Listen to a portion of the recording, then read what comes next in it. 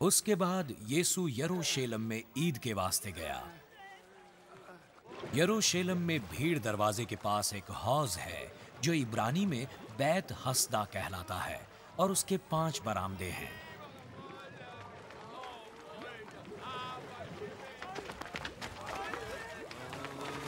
बीमार लोगों की एक बड़ी भीड़ इन बरामदों में पड़ी थी।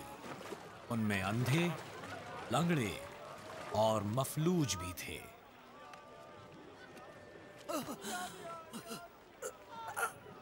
वहाँ एक शख्स था जो 38 बरस से बीमारी में मुब्तला था।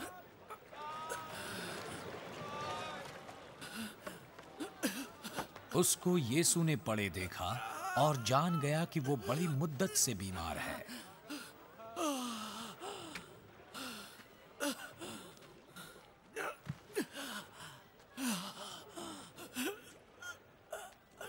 क्या तू तंदुरुस्त होना चाहता है? मेरे पास कोई आदमी नहीं कि जब पानी हिलाया जाए तो मुझे हौज में उतार दे। मेरे पहुँचने से पहले दूसरा उतर पड़ता है।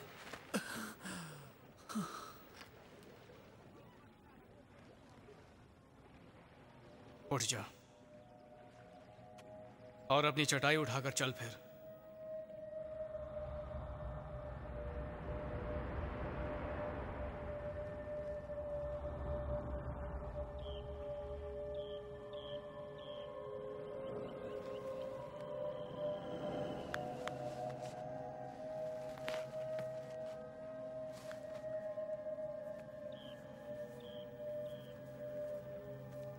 वो शख्स फ़ौरन तंदुरुस्त हो गया।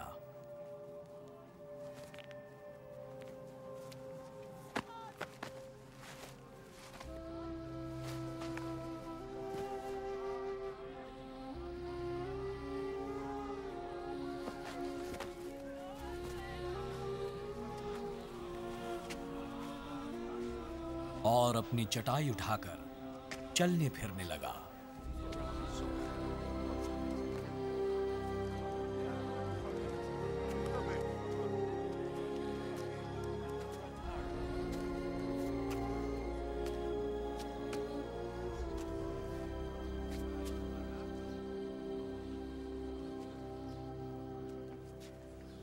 जिस दिन ये हुआ वो सबत का दिन था। बस यहूदी उससे जिसने शिफा पाई थी कहने लगे आज सबत का दिन है और तुझे चटाई उठाना रवा नहीं है। जिसने मुझे तंदुरुस्त किया उसने मुझसे कहा कि अपनी चटाई उठाकर चल फिर। वो कौन है जिसने तुझसे ये करने को कहा? लेकिन जिस शख्स ने शिफा पाई थी वो यीशु को नहीं जानता था।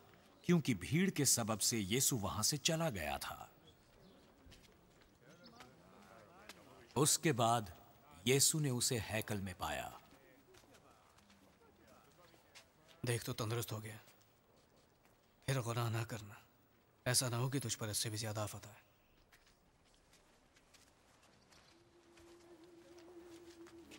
उस आदमी ने जाकर यहूदियों को खबर दी कि जिसने मुझे तंदुरुस्त किया वो यीशु है।